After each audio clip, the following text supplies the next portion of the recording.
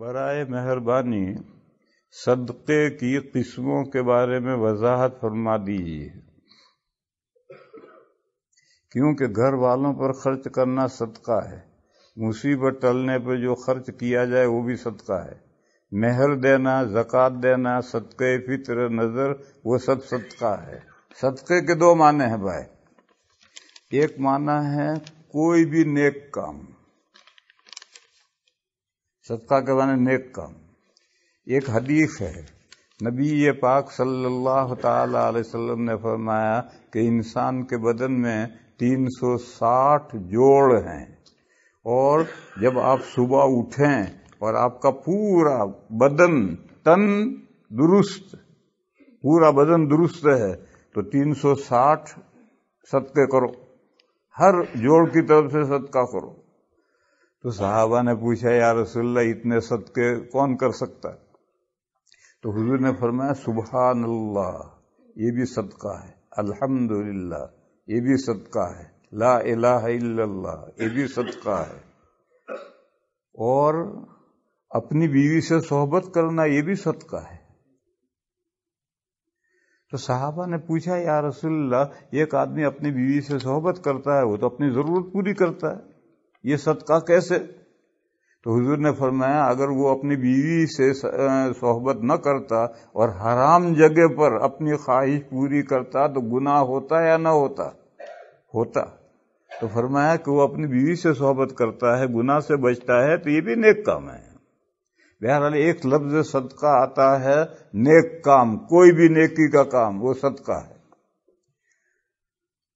اور ایک صدقہ ہے مال کسی کو دینا حاجت مند کو ضرورت مند کو مال دینا، پھر اس کی دو قسمیں ہیں، صدقہ واجبہ اور صدقہ نافیلا صدقہ واجبہ زکوٰۃ ہے۔ صدقہ واجبہ زکوٰۃ ہے۔ قرآن میں سورہ توبہ میں آئے تھے ان نمت صدقات للفقراء۔ اس میں زکوٰۃ کا بیان ہے، زکوٰۃ کے آٹھ مسرت بیان کیے ہیں، اور اس میں لفظ ہے نمت صدقات، تو زکوٰۃ بھی صدقہ ہے۔ اور جو رمضان کے ختم پر صدقت الفطر دیا جاتا ہے، یہ بھی واجب صدقہ ہے۔ اسی طرح کوئی منت مانی اور وہ کام ہوا تو اب منت پوری کرنے کے لیے جو آپ دیں گے، یہ بھی صدقہ واجبہ ہے۔ یہ تین صدقے واجبہ ہیں، زکوٰۃ صدقت الفطر اور منت، ان تینوں کو غریبوں ہی کو دینا ہے، جن کو زکوٰۃ دے سکتے ہیں، انہی کو دینا ہے، دوسروں کو نہیں دے سکتے۔ اور ایک صدقہ نافیلا ہے۔ اس کے لیے دوسرا لفظ للہ۔ للہ خرچ کیا۔ للہ خرچ کرنا ہے، یہ صدقہ نافیلا ہے۔ یہ صدقہ نافیلا کسی بھی دینی کام میں خرچ کرنا ہے، اس کے لیے زکوٰۃ کے مصرف میں خرچ کرنا ضروری نہیں ہے، یہ آپ مسجد اور مدرسے میں بھی دے سکتے ہیں۔ یہ صدقہ نافلہ ہے، جس کو ہم للہ کہتے ہیں کہ ہم نے للہ رقم نکالی ہے۔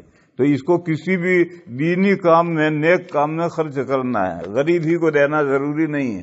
غریب کو دے دو، غریب کو دو۔ لیکن غریب کو دینا ضروری نہیں ہے۔ کسی بھی نیک کام میں خرچ کر سکتے ہو، مدرسے میں، مسجد میں، کسی غریب کو کسی بھی جگہ پر استعمال کر سکتے ہو۔